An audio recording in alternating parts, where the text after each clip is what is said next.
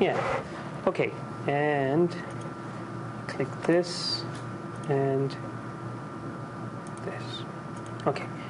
First, first of all, age is statistically significant, which suggests the if you look at the the t stat, which is the value divided by standard error, you would see that the the increase in age is correlated negatively. So the odds of uh, having an affair decline with age, and if I look at it here, um, it's 5% decline. So with, with an additional year, if you get one year older, the odds of having an affair are 5% lower than, um, than usual. Uh, similarly, um, if you look at children here, um, not a statistically significant coefficient, but it suggests that the odds of having an affair are 46% more likely for a married individual with kids than an individual without children. Again, this is significantly different from what we learned using the uh, linear regression model, which suggested that having children uh, would lower the number of affairs you would have, but it didn't say you would not have any affair. It would say you would have fewer affairs, which is uh, of you know, good compromise. But in the binary logit model, you get the um, the answer. The odds of having an affair increases by 46%. However, notice that the coefficient here is not statistically significant. Education is also not statistically significant. Gender is not statistically significant, uh, but suggests that males are 37% more likely to have an affair than females.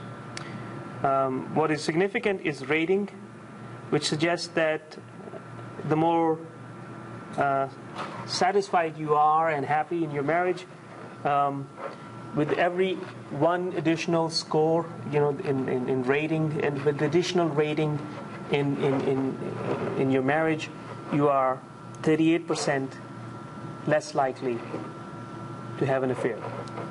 And as far as religiousness is concerned, which is also statistically significant, the T stat is significant, it suggests that you are 28% less likely to have an affair with an increase in religiousness. So, all else being equal, those who are happily married and those who are religious are um, less likely to have an affair.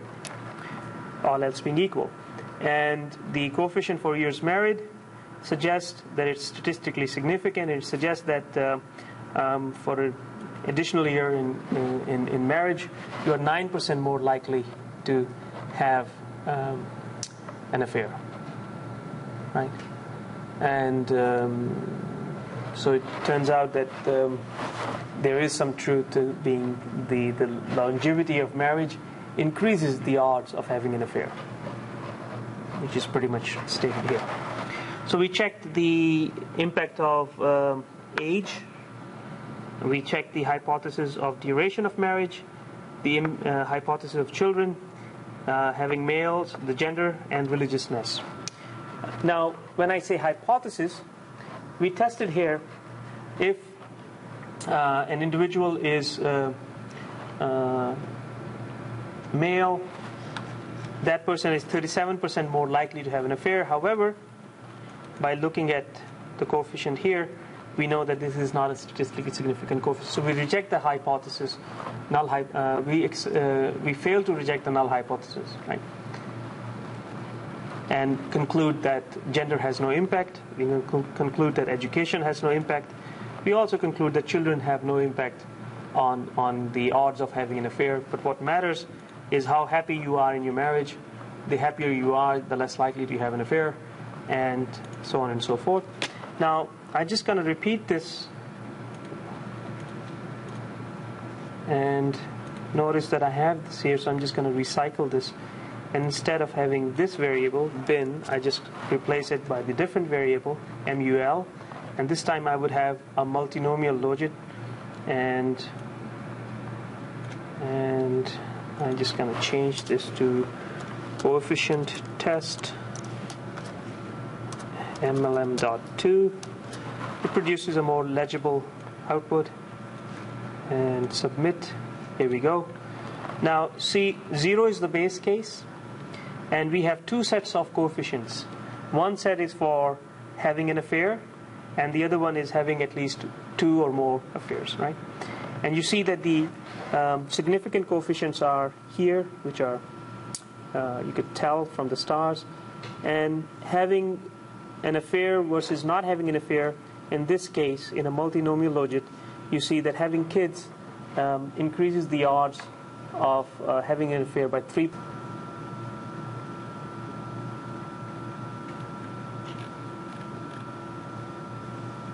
Okay, here. So do not look at these standard errors and z values. Here, just look at the estimates. Now I have used the term exponential. It has exponent, exponentiated the standard errors and z values as well, which is not the intent, but you know we live with it. Uh, the real values are here, standard errors and z values. So we know that the only significant variable is children, and if you take the exponential of it, it comes out right here.